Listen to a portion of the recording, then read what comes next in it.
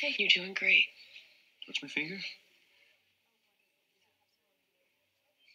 Everything went dark so fast, and I couldn't see. Well, you're here now. It's okay. Apoplexy. The tumor's bleeding. Could be pushing against the optic nerve. I'm so sorry. Why are you sorry? I promise I tried. I did what they said. And I prayed and I prayed. But it didn't work. God didn't help me. Can you help me, Dr. Karev? Can you fix my eyes? All right, take a deep breath. Can you do that? I promise, Liam, I'm going to do everything I can to help. But I need to talk to Dr. Edwards first, okay? Just wait right here. Be right back. What can we do without the parents? We still need consent. Not if it's emergent. We need to page neuro and prep him for surgery.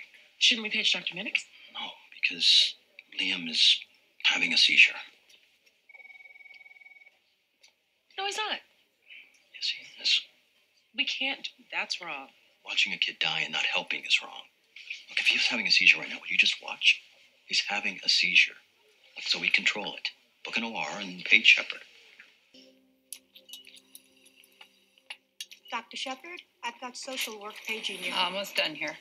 Basin? hey, is this Liam? Little Liam with the religious parents? It is. I saw his name on the board and I couldn't believe it. How did you get consent? I didn't need it. He showed up again and became emergent. He did what we needed to do to save his life. Karev, Is there something I should know? if you open this child's skull without his parents knowing after what happened last time? He seized in the ER. Dr. Shepard, it's social work again. 911. The patient's parents are here. What happened last time? Nothing happened. One of you better start talking. Right now. So you're holding him hostage. I understand your anger, Mr. Fisher, but your son just had brain surgery. This hospital cannot release him yet. It will put him at severe risk for infection, even death. Look, she's right. He's not even awake Don't you talk to me. You knew where my wife and I stood on His this. inner cranial You had no right to touch him. Okay, if Dr. Karev hadn't